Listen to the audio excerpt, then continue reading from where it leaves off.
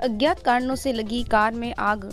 चंद मिनटों में कार हुई खाक। रानी मध्य रात्रि को नगर में रेलवे प्लेटफार्म के पीछे खड़ी कार में आग लग गई।